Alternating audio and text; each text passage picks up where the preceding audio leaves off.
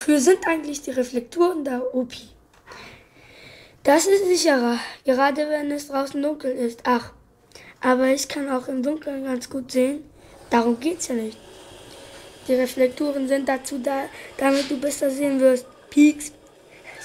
Ach, jetzt verstehe ich auch, warum Hein ich die im Eiscafé immer umhängen. Fräulein, hallo, Bedingung, ich möchte bestellen, hallo, hallo.